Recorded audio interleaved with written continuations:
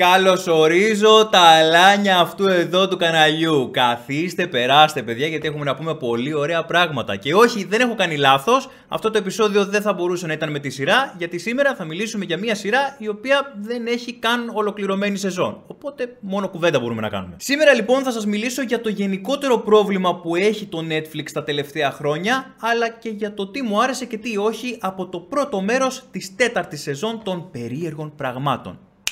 Let's stop!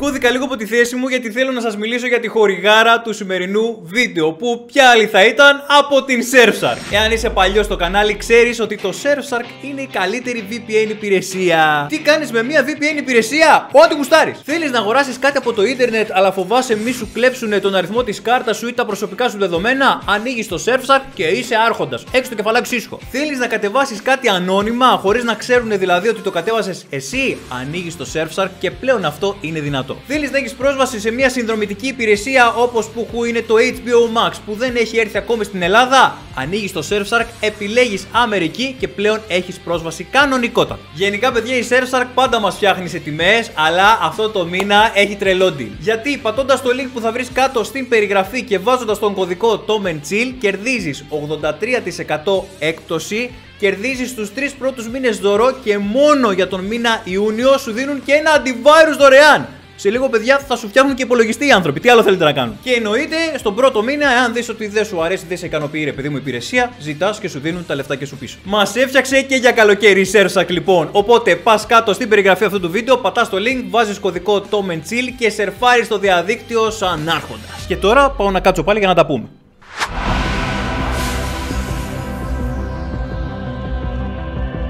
Τρία ολόκληρα χρόνια πέρασαν, παιδιά. Κόντεψα να ξεχάσω ότι υπάρχει σειρά που ονομάζεται Stranger Things. Καλά, υπερβάλλω. Εγώ ειδικά δεν παίζει να το ξεχνούσα με τίποτα, κυρίως γιατί είναι από τις αγαπημένες μου σειρές όλων των εποχών. Αυτό βέβαια έχει και τα καλά του, αλλά έχει και τα κακά του και θα καταλάβετε στη συνέχεια αυτού του βίντεο γιατί το λέω. Το λοιπόν, πριν ξεκινήσω την τέταρτη σεζόν του Stranger Things, αφού έχουν περάσει και τόσα χρόνια, κάθισα με τον Αντρίκο, τον ανιψιό μου, που δεν έχει δει καθόλου τη σειρά και είδαμε παρεούλα τη σειρά από την αρχή. Κάτι που αποδείχθηκε μια πάρα πολύ ωραία κίνηση. Διότι θυμήθηκα γιατί είχα ερωτευτεί από την πρώτη κιόλας ματιά αυτήν τη σειρά.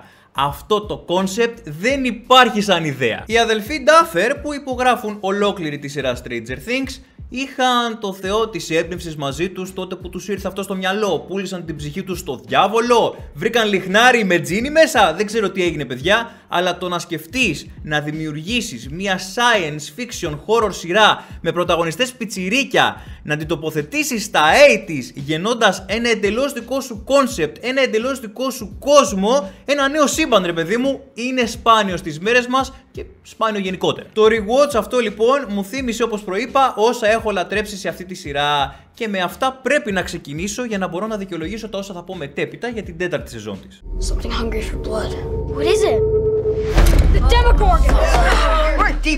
Κάθε φορά λοιπόν που ξεκινούσε ένα επεισόδιο Stranger Things ένιωθα ότι μπαίνω σε έναν νέο κόσμο. Ένιωθα ότι βλέπω κάτι εντελώς νέο, κάτι εντελώς φρέσκο και ίσχυε κιόλας αυτό 100%. Όλα όσα έβλεπες στις τρεις πρώτες σεζόν της σειράς είχαν μια ιδιαίτερη ταυτότητα, μια ιδιαίτερη αισθητική. Μια γοητεία που δεν μπορούσες να ικανοποιήσεις με οποιαδήποτε άλλη θέαση, με οποιαδήποτε άλλη σειρά κι αν έβλεπες δηλαδή. Μια ήσυχη μικρή πόλη της Αμερικής στην εποχή των 80's που μερικοί πιτσιρικάδες που κατοικούν εκεί καλούνται να αντιμετωπίσουν ένα μεταφυσικό φαινόμενο που εμπλέκεται με κρατικά μυστικά πειράματα. Άντε για, τι άλλο να πω. Και αν σε όλα αυτά που προείπα προσθέσουμε και την απίστευτη σαουντρακάρα που έπαιζε σε κάθε επεισόδιο, ε, δεν γίνεται να μην τη λατρέψει κάποιος. Η συνδρομητική πλατφόρμα του Netflix λοιπόν τα τελευταία χρόνια έχει τεράστιο πρόβλημα, έχει αρχίσει και βλέπει τα νούμερά της να πέφτουν κατά πολύ και δεν φαίνεται να έχει βρει ακόμη τη λύση. Όμως, παιδιά, η λύση είναι μπροστά στα μάτια τους. Το concept Stranger Things είναι αυτή η λύση για τη σωτηρία του Netflix και δεν το έχει καταλάβει ούτε το ίδιο το Netflix. Και όταν λέω το Stranger Things είναι, δεν εννοώ αυτό καθ' αυτό, αλλά projects σαν αυτό. Σειρές με ωραίες ιδέες, σειρές με ταυτότητα, με ιδιαίτερους χαρακτήρες, σειρές γεμάτα κράχτες και σήματα κατά τεθέν που μπορούν να γίνουν wallpaper στα κινητά όλων, που μπορούν να γίνουν ζωγραφιές σε τετράδια, τατού σε σώματα, που μπορούν να γίνουν φιγούρες που θα πολιθούν. Δεν λέω, καλά είναι και τα Dark και τα Ozark και τα Crown και Narcos και και και, αλλά δεν είναι projects που μπορούν να αναπαραχθούν με τους τρόπους που προανέφερα. Θυμάστε τώρα πρόσφατα τι έγινε με το Squid Game, που κατά τύχη τους βγήκε για να λέμε και την αλήθεια, γέμισε ο τόπος μάσκες από τη σειρά. Σειρές λοιπόν σαν το Squid Game και σαν το Stranger Things είναι η επιτομή ενός τέτοιου project. You guys hear that? That's not Will. Η καρδιά του project Stranger Things λοιπόν ποια είναι; Είναι ένας lead super hero χαρακτήρας, η Eleven εννοώ, που πρώτον είναι πολύ μικρής ηλικίας, δεύτερον την κυνηγάνε οι πάντες και δεν ξέρει ποιον να εμπιστευτεί και ποιον όχι, τρίτον δεν μπορεί ούτε η ίδια να καταλάβει τι είναι και τι μπορεί να κάνει με τις δυνάμεις που ανακαλύπτει καθημερινά ότι έχει. Ό,τι δηλαδή περνάει ένας απλός πιτσιρικάς. Απλά σε πολύ μεγαλύτερη κλίμακα. Αυτό που θέλω να πω, ρε παιδιά, είναι πως ταυτίζεται για πλάκα ένα άτομο μικρής ηλικίας με την πρωταγωνίστρια του Stranger Things. Αυτό είναι το Α και το Ω. Κοτσάρεις και στο project και το horror στοιχείο και έχεις φτιάξει ένα αντίστοιχο. It σε σειρά. Το It, να ξέρετε, δεν το είπα τυχαία. Και τώρα που είπα όσα ήθελα να πω, πάμε στην τέταρτη σεζόν. Γιατί ακούω και κάποιον που λέει Άντε, μας έπαιξε τόση ώρα πάνω στο ψητό. Μίλα καλύτερα, ε. Your suffering is almost at an end.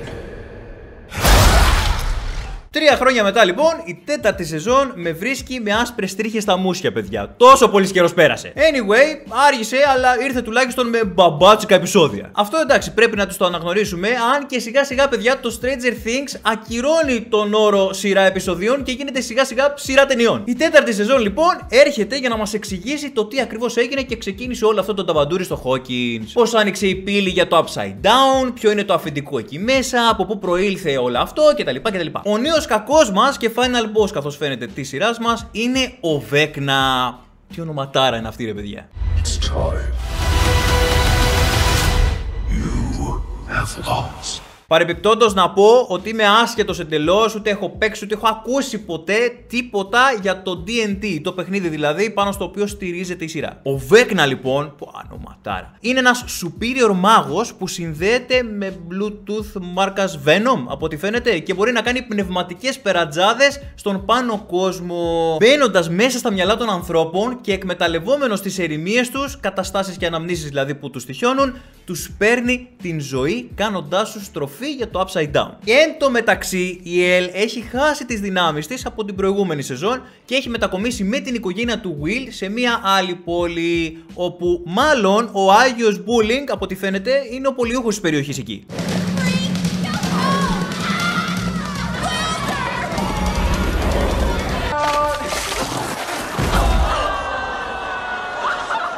Γιατί εκτός από το ότι το bullying στην Elle πηγαίνει σύννεφο, όταν αυτή κάποια στιγμή αντιδράει, όλοι την κοιτούν λες και είναι κανένας βίλεν από ταινία Batman.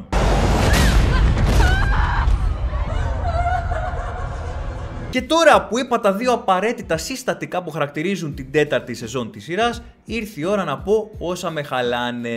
Το πρώτο λοιπόν κακό για εμένα στη σειρά ήταν η φάση ακριβώς με το bullying στην Elle που προανέφερα. Δεν μου αρέσει γενικά ούτε οι ταινίες αλλά ούτε και οι σειρές να παρουσιάζουν τα παιδιά ως χαζά, κακομαθημένα και σκατόψυχα που δεν έχουν συνέστηση των πραγμάτων και κάνουν bullying χωρίς κανέναν απολύτως λόγο. Και άντε θες να παρουσιάσεις έτσι μια ομάδα παιδιών, γιατί εντάξει, μην γελιόμαστε, υπάρχουν και αυτά. Μην μου παρουσιάζεις και όλον τον περίγυρο έτσι. Δηλαδή, ένα γεμάτο μαγαζί με εφήβους είδε ένα ολόκληρο bullying event να διαδραματίζεται μπροστά στα μάτια του, είδε την Ελ να εξευτελίζεται και όταν εκείνη αντέδρασε, όχι απλά δεν της έδωσαν δίκιο, αλλά την κοιτούσαν σε φάση δείτε το φρικιό τι πήγε και έκανε.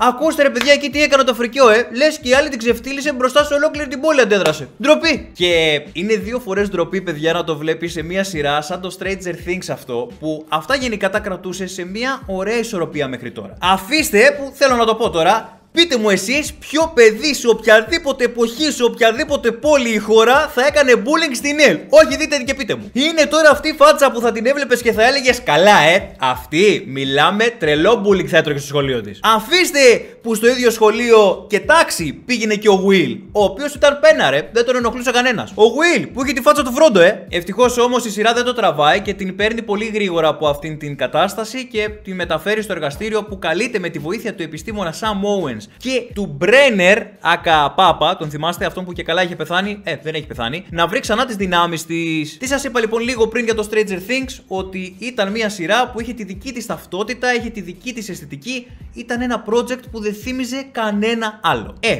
η τέταρτη σεζόν τα αναιρεί όλα αυτά για εμένα. Γιατί το σενάριο της τέταρτης σεζόν, παιδιά, μέχρι τη στιγμή του plot twist βέβαια, θυμίζει αρκετά μία μίξη των ταινιών Ο Εφιάλτης στον δρόμο με τις Λεύκες και των It ταινιών. Και βάλε και τον Venom. Γιατί ποιο είναι το σενάριο στην ουσία, ένας μάγος, ένα πνεύμα το οποίο μπορεί και μπαίνει στα μυαλά των παιδιών και μετατρέπει σε πραγματικότητα τις αναμνήσεις που τους στοιχιώνουν. Κάτι παρόμοιο δηλαδή που γινόταν και στις δύο ταινίες που προανέφερα. Και Stranger Things, εντάξει, μπορεί να δεχόμαστε να ανταλλάσσετε ηθοποιούς με τις ταινίες It, αλλά εντάξει, μέχρι εκεί υπάρχει ένα όριο. Ε, και για τον Venom νομίζω ότι το πιάσατε το υπονοούμενο, δεν χρειάζεται να το εξηγήσω καν. It's time for your suffering to end.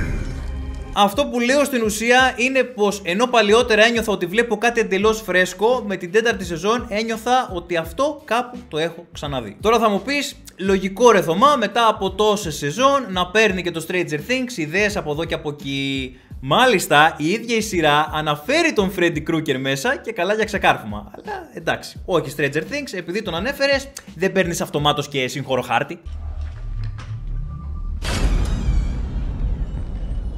Οι επιστήμονες λοιπόν εφαρμόζουν στην Eleven το σύστημα που κάνω και εγώ με τις ταινίες και τις σειρές. Δηλαδή την βάζουν να δει ξανά και ξανά το ίδιο πράγμα, μπας και ανακτήσει τις δυνάμεις της. Πριν όμως φτάσουμε στο υπέροχο plot twist της σειράς, θέλω να πω δύο λόγια για το φρέσκο αίμα της. Για τους νιούφιδες, τους χαρακτήρες που ήρθαν για να σπρώξουν το σενάριο και να το πάνε ένα βήμα παραπέρα. Θα μιλήσουμε λοιπόν για τους χαρακτήρες Eddie Manson και Jason Carver, aka Captain America. Οι οποίοι έχουν από έναν πάρα πολύ σημαντικό ρόλο στη σειρά ο καθένας τους. Ο ένας είναι ο φυγάς που όλοι κατηγορούν για τις δολοφονίες που γίνονται στην περιοχή και ο άλλος είναι αυτός που τον κυνηγάει. Ε, εντάξει. Άλλωστε, πώς αλλιώς θα δικαιολογούσε το ότι το όνομά του είναι Jason. Μου άρεσε πάρα πολύ τον cast αυτών των δύο ρε παιδιά, γιατί δεν μπορείς να ξεχωρίσεις απευθείας από τις φάτσες τους ποιος είναι καλός και ποιος είναι κακός. Πρέπει να περάσουν αρκετά επεισόδια για να σιγουρευτείς και το γουστάρω πάρα πολύ αυτό. Όπως επίσης γουστάρω και το ότι είναι πάρα μα πάρα πολύ καλή ηθοποιή. Αλλά βρε καλή μου, βρε χρυσή μου σιρούλα, Πες μου, για ποιο λόγο ξαφνικά ο Jason από εκεί που ήταν ένας teenager baby Captain America αρχηγός της ομάδας μπάσκετ του σχολείου του μετατρέπεται σε κήρυκας που επηρεάζει με το λόγο του μια ολόκληρη πόλη; Excuses and lies. That's enough. I agree. I've had enough. Επειδή λέει πιστεύει από αυτά που είδε, αυτά που είδε μόνο αυτός έτσι, κανένας άλλος, πως ο Έντι είναι δαιμονισμένος. Εντάξει, παιδιά, στα 80s ο κόσμος όντως πίστευε σε κάτι τέτοια ηλίθεια, αλλά είπαμε, μην το παραχέσουμε κιόλας. Πήγατε τώρα και μου κάνατε κήρυκα 17 χρόνων παιδί. Εάν είναι κιόλας 17 δηλαδή στη σειρά και δεν είναι μικρότερος. Α, ναι, και το ξέχασα πλέον. Παίζει και ο Bob Marley στη σειρά.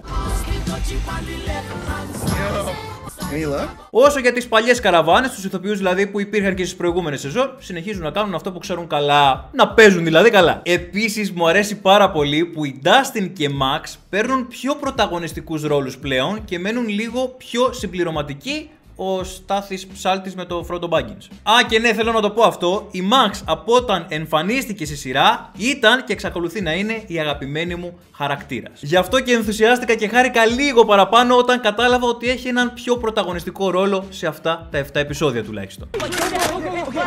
Now.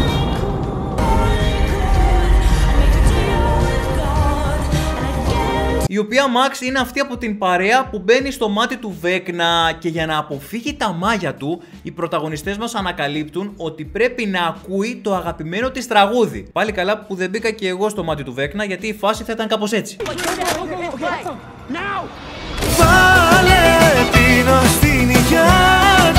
Και ήρθε η ώρα να πάμε στο plot twist. Η αποκάλυψη ότι η Ελ είναι αυτή που δημιούργησε οτιδήποτε κακό βλέπουμε στην σειρά, για εμένα έσωσε όλη την τέταρτη σεζόν. Βασικά, εξ αρχής αυτή ήταν η ιδέα, το ανέφερε και η ίδια η Eleven δηλαδή στις προηγούμενες σεζόν, αλλά έλεγε ότι άνοιξε την πύλη. Όχι πως και αυτά που βρίσκονται εκεί μέσα ουσιαστικά είναι δικά της δημιουργήματα. Στο τελευταίο επεισόδιο λοιπόν μαθαίνουμε ότι ο Βέκνα είναι ο number one, το νούμερο ένα πειραματόζω δηλαδή του Μπρένερ, που μετά από μία μάχη με την Eleven τον μετέτρεψε σε αυτό που είναι σήμερα.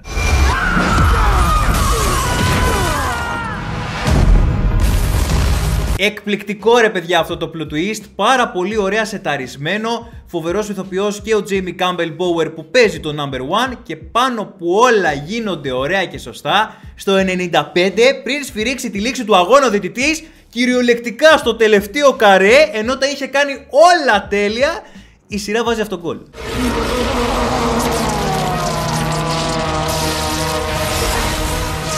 Γιατί εκεί στα τελευταίο καρέ, ενώ μας έχει δείξει όλη τη μεταμόρφωση του Βέκνα με τα πολύ αξιοπρεπέστατα CGI που είχε για άλλη μια φορά το Stranger Things, εκεί λοιπόν έχει μεταλλαχθεί ολόκληρο το σώμα του και κάνει ένα κοντινό η κάμερα στο χέρι του και δείχνει το τατού που λέει 001.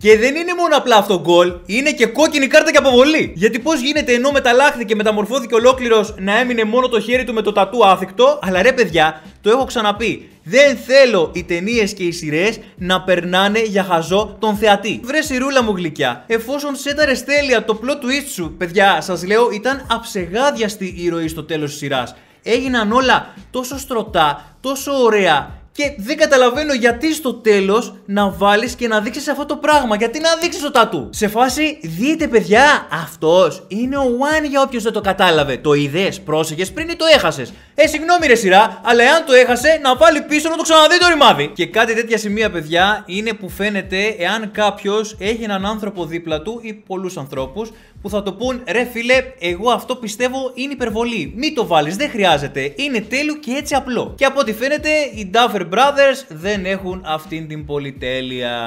Και δεν μίλησα καν για το ταξίδι της Joyce και του Μάρι προς τον Jim Hopper, έτσι. Ключ от шкафа с оружием. Действуйте вместе. γιατί το πόσες σεναριακές εκπτώσεις υπήρξαν εκεί, παιδιά, δεν λέγεται. Αλλά εντάξει, πες εκεί, το τρώ γιατί δεν γίνεται και διαφορετικά. Και να σας πω για την αλήθεια, το περίμενα πολύ χειρότερα αυτό το σημείο. Και μπορώ να πω ότι ένιωσα στο τέλος πως το ψιλοσώσανε. Δεν με χάλασε και τόσο πολύ. Όμως, να πω εδώ ένα τεράστιο respect στο μεράκι, παιδιά, που έβαλαν οι δημιουργοί του Stranger Things στην τέταρτη σεζόν, όπως έβαζαν και στις προηγούμενες, αλλά εδώ πέσε και περισσότερο χρήμα. Και ιδιαίτερα respect για το μεράκι που βάλατε στον Βέκνα.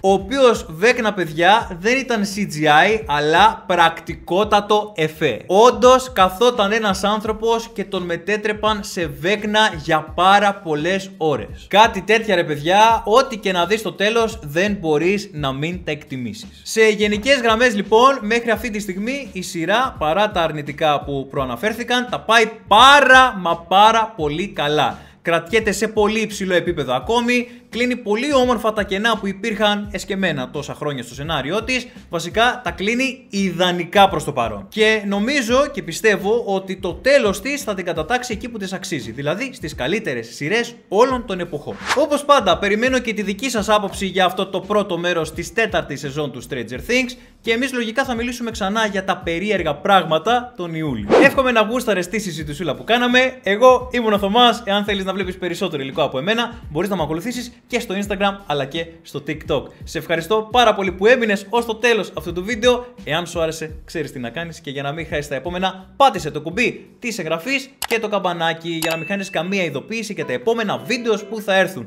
Και μέχρι το επόμενο βίντεο να βλέπετε ταινίες και σειρές, αλλά πάνω απ' όλα να περνάτε όλοι όμορφα. Τσουλάου.